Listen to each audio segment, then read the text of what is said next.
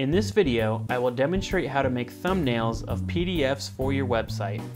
PDFs cannot be directly embedded onto a page without additional plugins.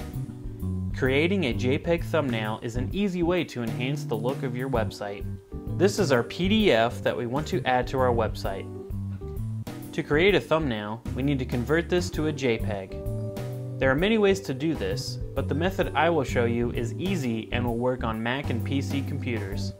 In your web browser, go to pdf2jpg.net.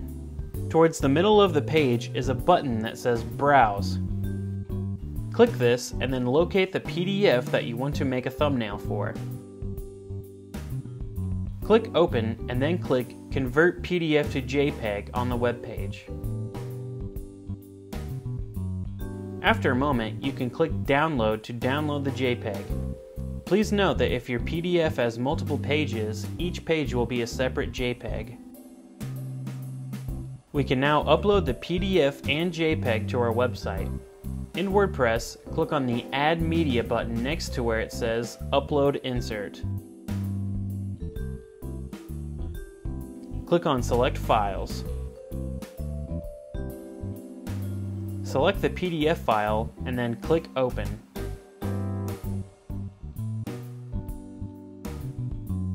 Once the file is done uploading, click on the File URL button and then copy the link URL.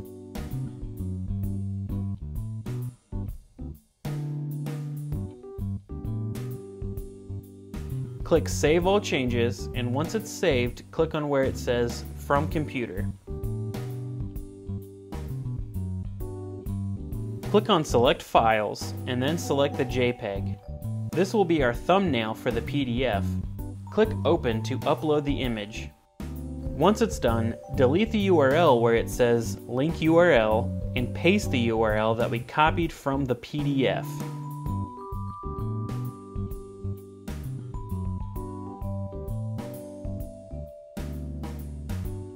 Make sure that the thumbnail size is selected, and in this case we'll change the alignment to none.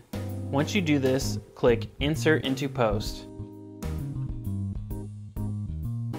Our PDF is now uploaded and there is a nice thumbnail that links to it. If we preview the page, you can see that the thumbnail displays properly and links to the PDF correctly.